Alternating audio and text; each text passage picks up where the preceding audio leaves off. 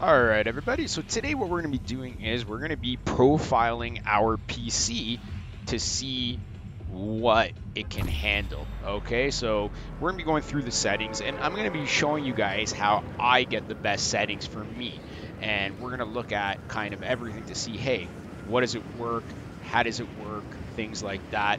So let's go ahead and dive right in. I'm just going to quickly land at this location.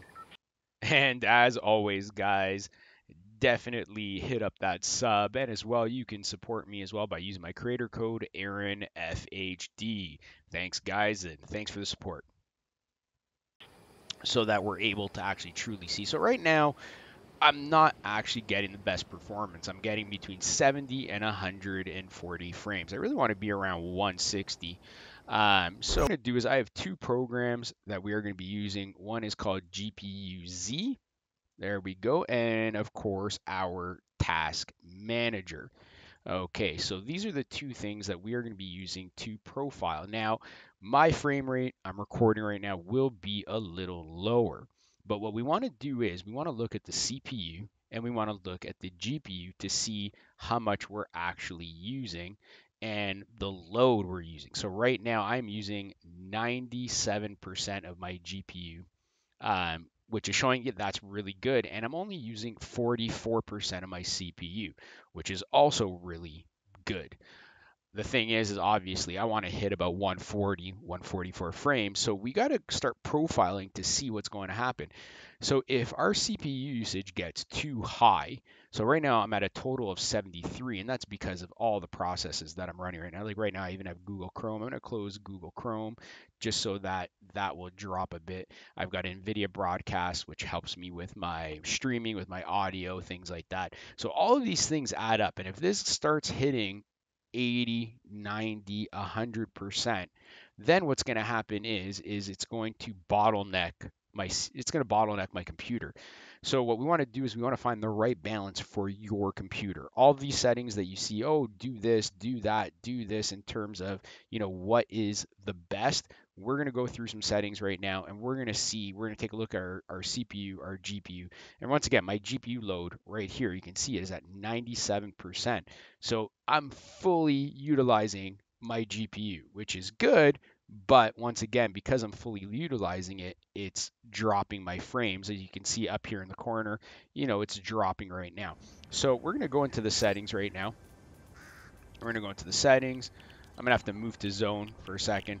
And we're going to start playing with some of these settings to see here what I can do to, uh, you know, get everything. And what you can do is you can actually start off like low and then work high, but I'm going to kind of work backwards. So I'm going to put my effects and post processing to high.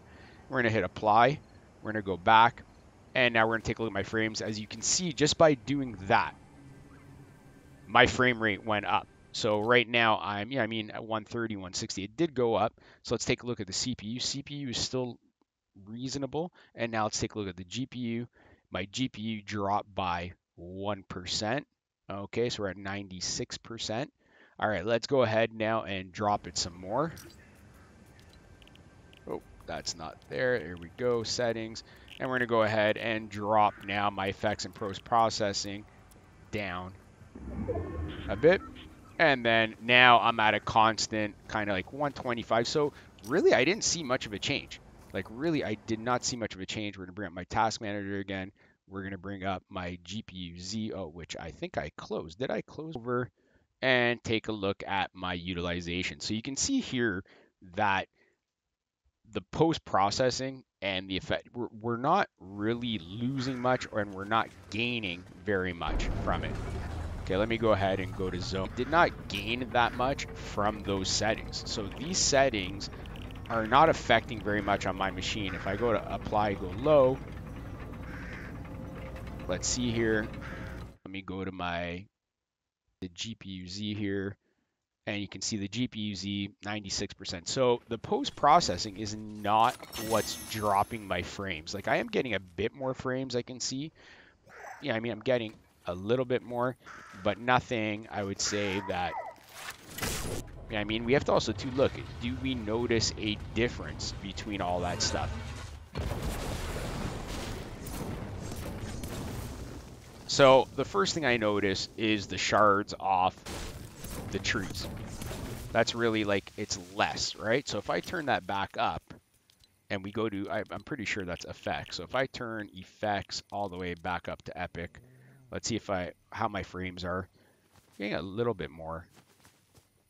Things are, yeah, I mean, but literally this is what, that's what's making the shards.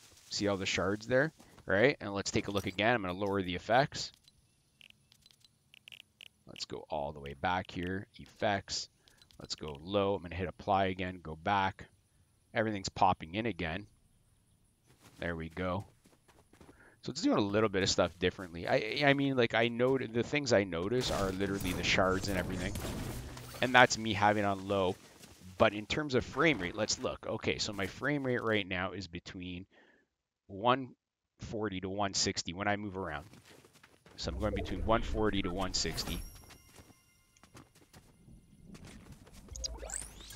So the question is, is what is causing my frames to drop, right? And that's what we got to look at to see, because obviously you look at GPU-Z, my GPU load is 97%, and it's staying at 97%, right? But the good thing is, is that my CPU is not going over 50%. So I like that. That's really good. So that means I'm not really bottlenecking anything, right? And that's kind of where things start happening is when you start raising certain settings, it's going to go higher.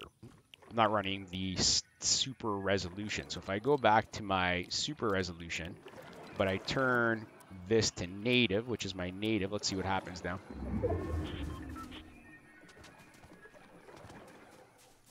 Looks crisp. How's my frame rate? But there's my frame rate right there between 80 and 100. So what TSR does, it's called temporal super resolution. Okay. And really what's happening is, is when you look at it, it's once again, you've got to find a balance between these two. Um, TSR Epic is obviously going to use more of your GPU, but what I'm going to do is go to Performance. And you can see here where it says the 3D screen resolution, and as you move it through it, right, you can see your screen resolution drop. So what that means is, is that it's going to only render 66% of my screen resolution and then upscale it. So at 60%, if I go here and I hit apply and I go here, so let's take a look at my frame rate. You can see there I'm getting between 100 and 150. And then if I go back and I set the TSR lower, and it's really until you feel the quality. So balanced is, you know, balance between quality and performance. Obviously, you go back, and I'm getting between one, you know, I mean, I'm looking at this. That's not bad. And then, of course, you've got the TSR performance, which you go down, and then there you go. But really what everybody needs to do is they need to profile their own machine. And what we're going to do as well, we're going to look at texture. So right now, um, if I start, I'm going to go, let's just do epic for everything and hit apply. This is where things get a little crazy. Obviously the shadows, everything. And you can see my frame rate is dipping there. 98 GPU load. And then let me look at my CPU.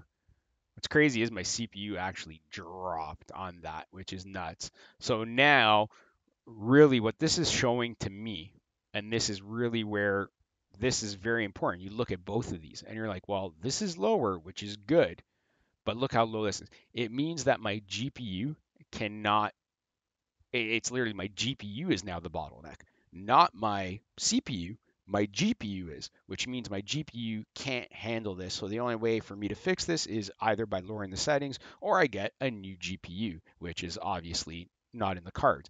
But definitely though you look at this number, which is crazy, it means it means that upping the resolution of certain things are actually having a less impact on my CPU, which is which is pretty cool.